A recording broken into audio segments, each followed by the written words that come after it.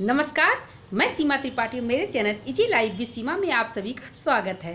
Friend, आज मैं आप लोगों के साथ शेयर करने जा रही हूँ चिली पनीर, जो कि खाने में इतना ज़्यादा स्वादिष्ट होता है और सभी लोगों को बहुत ज़्यादा ही पसंद है। बच्चों को भी खास करके ये पसंद है। तो मैं इसको चाइनीज़ स्टाइल में नहीं बनाऊँगी और मैं इसे देसी स्टाइल दे, देने की कोशिश करूँगी।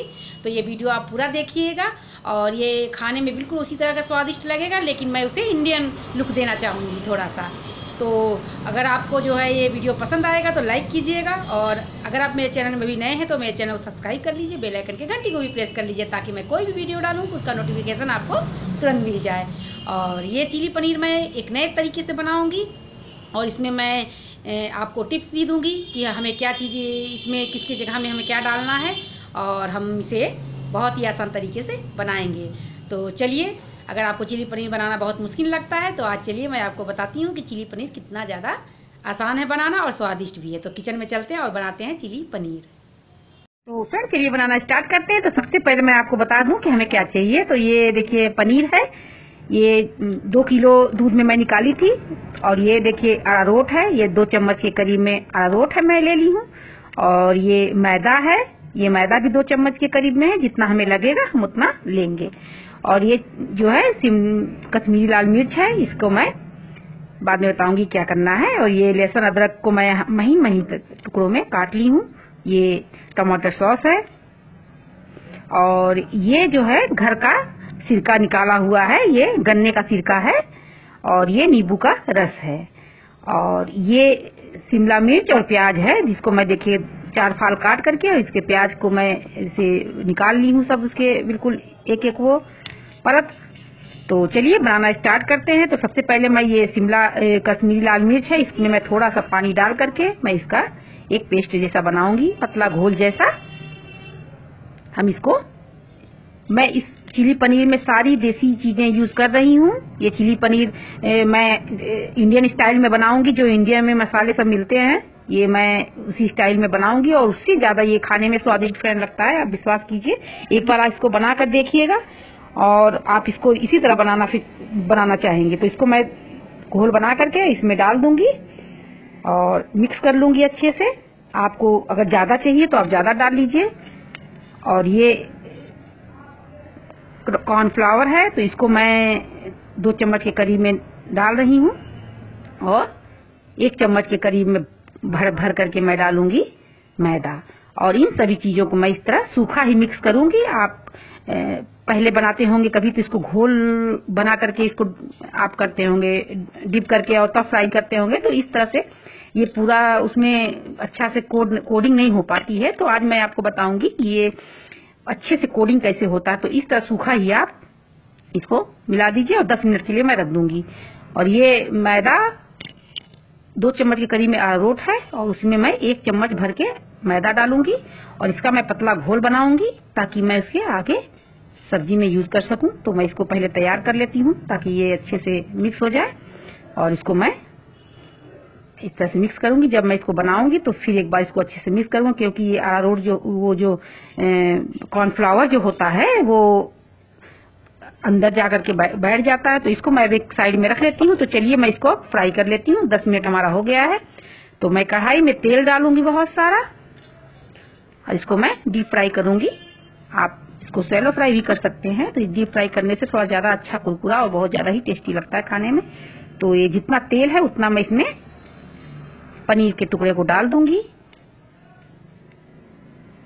गैस का फ्लेम मेरा मीडियम टू लो रहेगा, ताकि ये अच्छे से फ्राई हो सके। बढ़िया ब्राउन कलर का हमें फ्राई करना है खूब अच्छे से। इस तरह से आप जो है चिली पनीर अगर बनाएँगे तो आप इसी तरह से ही आपको लगेगा कि मैं बना के खाऊं, क्योंकि इसका टेस्ट जो है बहुत ही ज़्यादा अच्छा और कलर भी बहुत अच्छा आता है। जो ब्लैक कलर आ जाता है, वो देखने में भी नहीं अच्छा लगता है और खाइए तो जैसे थोड़ा सा सभी लोगों को बहुत ज़्यादा पसंद नहीं है, लेकिन इस तरह का अगर आप बनाएँगे तो आपको लगेगा कि मैं इसी तरह से बनाऊँ। तो मैं सारी सार जितनी भी पनीर मेरी थी, मैं सबको इसी तरह से थोड़ा थोड़ा करके पहले फ्राई कर लूँगी। उसके बाद मैं आगे का प्रोसेस आपको बताती हूँ। तो देखिए, मैं इसमें थोड़ा सा तेल और था तो मैं इसको निकाल दी हूँ। मुझे जितना तेल चाहिए था, मैं इसमें छोड़ दी हूँ। तो ये अदरक, लहसुन का जो मैं महीन महीन इसको चॉप कर ली थी तो इसको मैं पहले डाल दूँगी और इसको थोड़ी देर के लिए मैं खाली सॉटे करूँगी। बहुत ज़्यादा इसे मुझे नहीं भूनना है। तो अब देखिए, ये हो गया है। तो जैसे आप देख रहे हैं कि अब इसके बाद मैं इसमें डालूँगी हरी मिर्च। इसको मैं बीच से पतला पतला करके, चीरा लगा करके काट ली हूँ। ये बहुत ही ज़्यादा टेस्टी लगता है इसमें। आप इसका मात्रा बढ़ा घटा भी सकते हैं। क्योंकि तीखा अगर आप नहीं खाते हैं तो इसको आप न खाएँ। तो ये शिमला मिर्च और प्याज को जो मैं काटी थी, इसको मैं इसमें डाल दूँगी और हल्का सा इसको भी मैं भूनूँगी। ज़्यादा हमें नहीं पकाना है। तो देखिए, मेरा हो गया। अब इसमें मैं जो कॉर्नफ्लावर और मैदा का जो घोल बनाई थी, उसको मैं इसी समय डाल दूँगी। कॉर्नफ्लावर की जगह में आप अरारोट भी यूज़ कर सकते हैं। तो सेम टेस्ट आता है। बस जो भी आपको उस समय मिल जाए, आप उसको आप डाल दीजिए और इसको बाद इसके बाद मैं इसको मिक्स कर लूँगी, इसको अच्छे से मिक्स करना पड़ता है। क्योंकि वो नीचे जाकर कढ़ाई में जम जाते हैं तो वो जलने लगता है तो फिर वो सब्ज़ी, फिर महक अलग आने लगेगी तो इसको आपको बराबर लो फ्लेम पे ही चलाना है। और ये जो है कश्मीरी लाल मिर्च का थोड़ा सा घोल जो बचा था तो मैं इसमें डाल देती हूँ। आप इस जगह पे थोड़े से लाल मिर्च भी डाल दीजिएगा। ये टमाटर सॉस है, इसको दो चम्मच के करीब में मैं डाल रही हूँ। और ये सब सारी चीज़ें आपको घर में हमेशा मिल जाएँगी। ये नींबू का रस है। तो ये आधा नींबू था मैं इसको डाली हूँ। तो ये थोड़ा सा इसमें रस ज़्यादा था अगर रस कम है तो आप इसमें बड़ा नी, एक नींबू भी यूज़ कर सकते हैं। ये दो दो चम्मच के करीब में रस था। इसको अच्छे से मैं चला लूँगी। तो मैं फ्रेंड इसमें जो है बेनिगर की जगह में और सोया सॉस दोनों नहीं डाली हूँ। तो मैं इसके जगह में घरेलू वेनेगर की जगह में मैं नींबू डाली हूँ। और सोया सॉस की जगह में मैं इसमें घर का सिरका डालूँगी और थोड़ा सा पानी और डाल करके मैं इसको अच्छे से चला लूँगी ताकि ये अच्छे से मिक्स हो जाए। अब इसमें मैं इसको चलाने के बाद मैं इसमें अब थोड़ा सा स्वाद अनुसार नमक डालूँगी।